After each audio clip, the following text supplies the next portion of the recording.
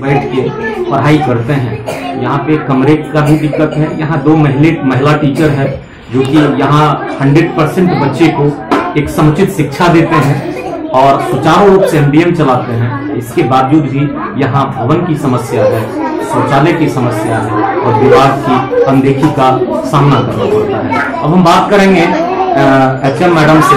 Madam आपका क्या नाम है? रंजू लता मैडम। आप यहाँ कब से हैं इस स्कूल में? हम तो यहाँ 2013 से हैं। अच्छा। हाँ ये मैडम पहले मूल मैडम ऐसे पढ़ी थी हम प्रभार में है ये दो तीन साल से। हाँ हाँ। तो ये 2006 से ये स्कूल है यहाँ पे। 2006 से। यहाँ यहाँ पे मैडम क्या क्या समस्याएँ हैं? यहाँ समस्या है भवन में एक सौ बच्चे को किसी भी तरह पढ़ाते हैं। और एक से पाँच तक के बच्चे को दो मैडम मिलकर किसी भी तरह पढ़ा रहे हैं। और बगल में एक कमरा है जहाँ उसमें एमडीएम चलता है। अच्छा तो यहाँ नामांकित बच्चे मैडम कितने हैं? इस वर्ष नामांकित बच्चे एक सौ एक एक सौ एक। बहुत सारी कठिनाइयों का सामना करना पड़ता है। बात करते हैं जूली मैडम से। मैडम यहाँ पे और क्या समस्याएँ हैं? यहाँ पे समस्या है कि इस कमरे के अलावा यहाँ ना चापाकल है ना शौचालय है। दोनों महिला होते हुए स्कूल को तो ये नहीं, ये भवन नहीं है, पंचायत का भवन है, लेकिन उसमें भी कई जगहों पे पंचायत के भवन में शौचालय को ऐड किया गया है।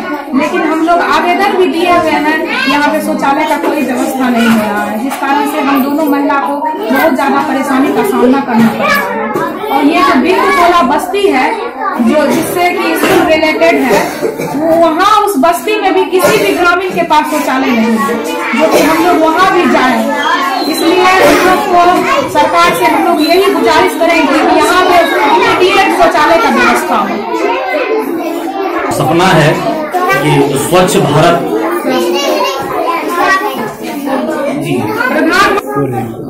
हमारे माननीय प्रधानमंत्री द्वारा कहा गया है कि स्वच्छ भारत करना है। स्वच्छ भारत का इरादा जो कि हम लोग ही इस चीज़ को प्रचार करते हैं। प्रभात फेरी निकालते हैं कि स्वच्छ भारत घर घर शौचालय हो, स्वच्छ रहे, स्वस्थ रहे। लेकिन हम लोग खुद अस्वस्थ हो रहे हैं बिना शौचालय जो विद्यालय में छह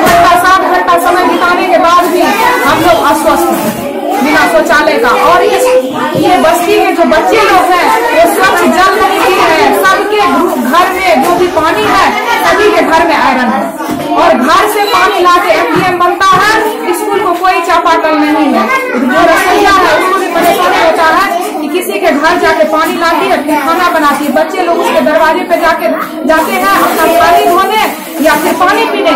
और कभी कभी वो लोग भी कहते हैं कि हम अपना कल पे पानी नहीं देंगे पीने। के इस कारण से हम दोनों महिला अभी कोई व्यवस्था नहीं कर पा रहे हैं उसके लिए। और आए दिन ये ऐसी घटना का सामना करना पड़ता है। इसके लिए कौन जिम्मेदार है?